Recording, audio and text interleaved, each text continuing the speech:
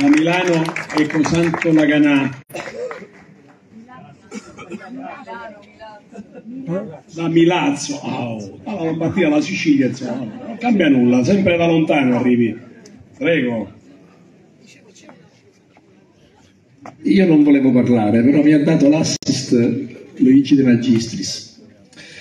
E poi altre cose che avrei voluto dire le hanno dette chi ha parlato prima di me, le ha dette in parte il Bommarito, Carlo Bommarito e le ha dette Angelo Broccolo. Eh, De Magistris ha detto che noi, che, eh, noi facciamo le manifestazioni giustamente, però Mimmo Lucano è imputato e anche questo è vero.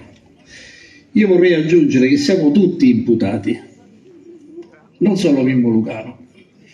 E in parte riprendo un po' chi mi ha preceduto poco fa. Siamo tutti imputati perché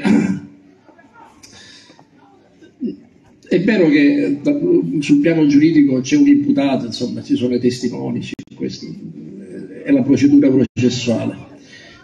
Però una cosa che ho già detto altre volte, ma che mi preme ripetere, è che messo sotto processo non è tanto Mimmo Lucano e gli altri imputati, messa sotto processo è la nostra Costituzione repubblicana.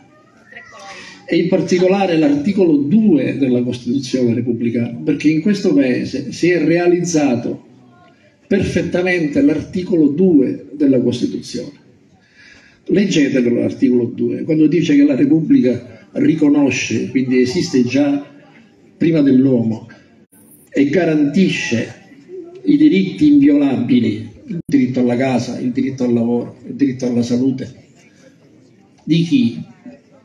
Dell'uomo, dice l'articolo 2, non dice del cittadino, non dice del bianco o del nero, non dice dell'italiano o dello straniero, dice dell'uomo e poi richiama al dovere, perché se il diritto non è controbilanciato da un dovere diventa privilegio, richiama al dovere di solidarietà politica, economica e sociale.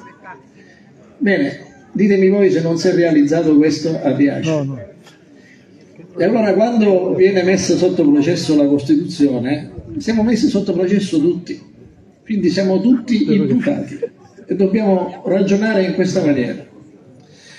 Una sola cosa volevo dire e basta. Intanto io sono, mi ritengo un amico di, di Mimmo Lucano e già questo eh, per me è una cosa importantissima. Eh, avere stretto la mano a Peppino Lavorato eh, ma forse una medicina per me. Volevo dire, volevo raccontarvi solo una cosa brevissima. Prima ha parlato una signora, si chiama... Eh, come si chiama? Non ricordo più. Luciana Negro. Prima.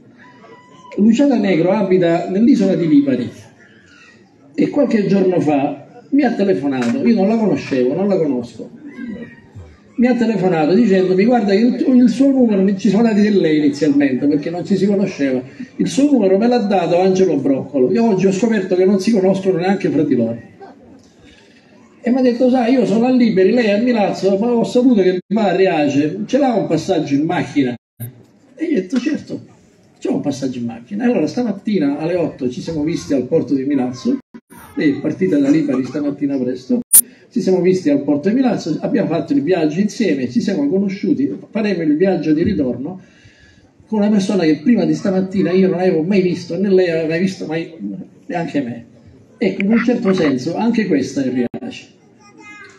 E grazie a Riace che io ho conosciuto per ultima uh, Giuliana Negro, ma ho conosciuto tante persone con i quali ancora collaboriamo e, e lavoriamo. Ecco, Riace è stata anche questo non perdiamoci di vista. Grazie, dobbiamo andare velocemente perché mi sa che Vabbè, Giove Pluvio ci sta uh, minacciando. Devo ringraziare l'avvocato Andrea D'Acqua che difende insieme al professore Giuliano Pisapia gratuitamente ovviamente il Molucano. Andrea non vuole parlare, ti salutiamo sempre con il consueto affetto.